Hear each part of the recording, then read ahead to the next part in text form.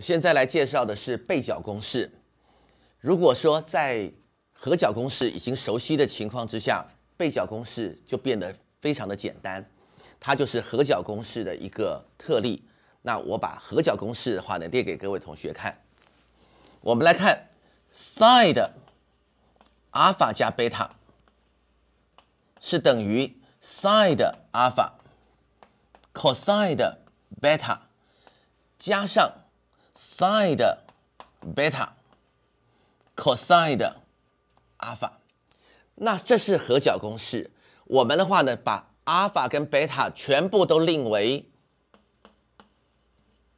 西塔的话呢，那于是就会变成了背角公式，sin 的二西塔是等于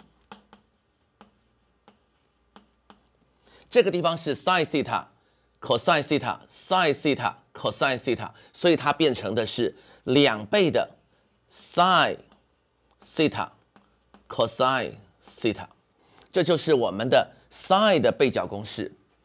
那还有一个是 cosine 的话呢，我们的倍角公式也是很重要的。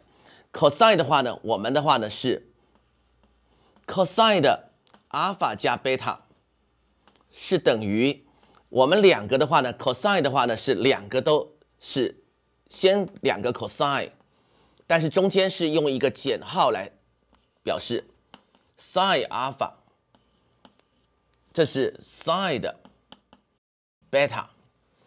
前面 cosine sin 的话呢，我们再令阿尔法跟贝塔都一样，于是的话呢，我们就得到的是 cosine 的二西塔是等于 cosine 的平方减掉 sin 的平方，我们得到的是第一个算式。那根据我们所知道的三角函数的恒等式，我们可以得到了这两个算式。不过这两个算式的话呢，其实最重要的不是在这样的写法，是在一个很常常在积分的时候用到的东西，叫做平方化背角。我们的话呢，特别的话呢，把它列出来。平方化背角是什么东西呢？是这样的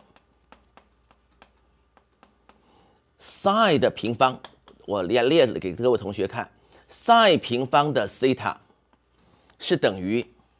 这个地方的话呢，是我们把它移项过去除以二，一减掉 cosine 的二西塔。